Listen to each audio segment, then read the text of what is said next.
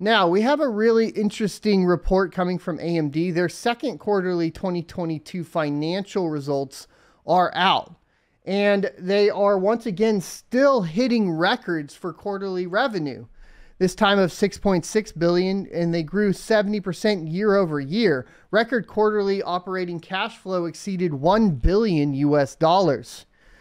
So AMD today announced revenue for the second quarter of 2022 of 6.6 billion dollars, gross margin of 46%, operating income of 526 million, operating margin of 8% and a net income of 447 million and diluted earnings per share of 27 cents per share. On a non GAAP basis, gross margin was 54%, operating income was $2 billion, and operating margin was 30%.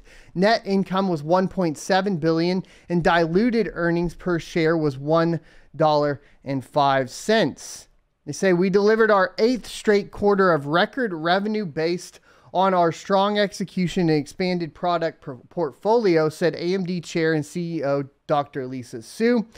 Each of our segments grew significantly year over year, led by higher sales of our data center and embedded products. We see continued growth in the back half of the year, highlighted by our next generation 5 nanometer product shipments and supported by our diversified business model. Revenue of $6.6 billion increased 70% year over year, and I still don't exactly understand how that's possible. We had record high, you know, shipment of GPUs and so on. But then I was thinking about it and I was like, really, AMD was not keeping shelves stocked pretty much at all. They didn't have the same amount of product hitting shelves as Nvidia did on the GPU side. So obviously it must be somewhere else. Now, what they did note is that this was growth across all segments and the inclusion of the Xilinx revenue. So they did have that Xilinx uh, partnership that came into play. And I think that that is pretty much where we are seeing that growth year over year. Uh, part of it, at least, right? Because you would assume at this point that the GPU revenue is going down, but maybe it's not, right?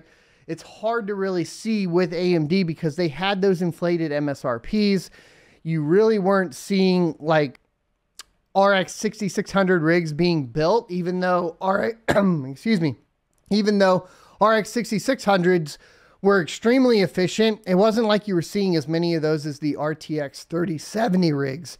And give me a second while I fix my throat because we got a frog in there, huh? It's probably this delicious coffee from Mr. BBT. It's not his coffee. He doesn't have branded coffee, but he does have a coffee cup. So make sure you guys go give him a follow. The OG.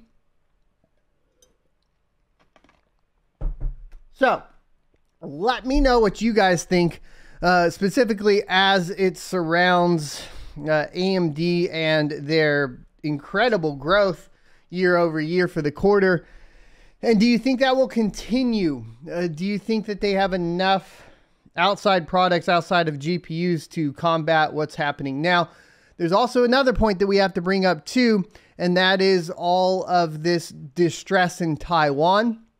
You know, between with of course the visit from Nancy Pelosi and China basically claiming sovereignty over Taiwan and the fact that Taiwan still produces over 50% of the silicon for semiconductors. So that does mean a lot of the manufacturing from AMD and and Nvidia and Intel still goes through Taiwan.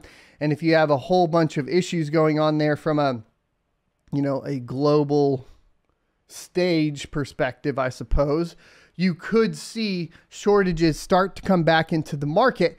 This was one thing that I did want to bring up too, because we had that video from JayzTwoCents that was extremely odd, where he said, Now is the time to buy GPUs.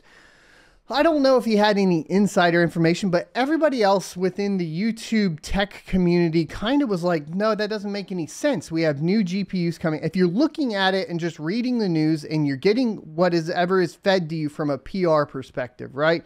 You got the RTX 4000 series coming out. You got the RX 7000 series coming out. You have crypto mining dying off and people selling all of their rigs. And you basically have the perfect storm, especially with the merge in September, for GPU prices to steeply decline. That's what you would expect.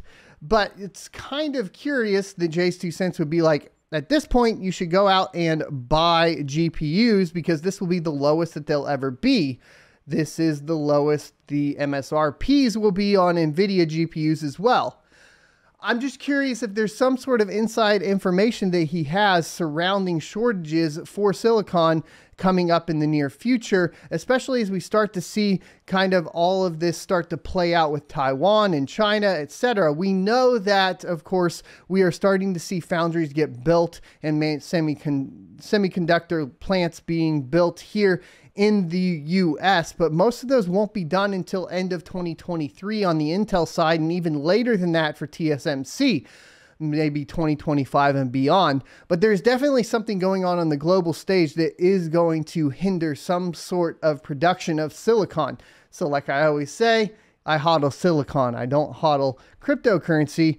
And even when we have a big dip in the price of silicon, right, our GPUs, etc., it's still the safer bet because you never know really what's going to happen here uh, with production of it. That is a physical asset that produces revenue. And I'd like to hear your guys' thoughts on it. That was just some stuff bouncing around in my head because it was very out of character, I felt like, to see JayzTwoCents release a video like that, especially when he's usually fully aware of, like, well, all of the information that we're aware of with new GPU releases, etc. Thanks for checking out this clip from the Crypto Mining Show. You can check out the full episode here or more crypto content down here. Also, I'd like you to check out my locals page at sonofatech.locals.com where you can become a member for free or choose to be a $5 a month supporter that unlocks additional content.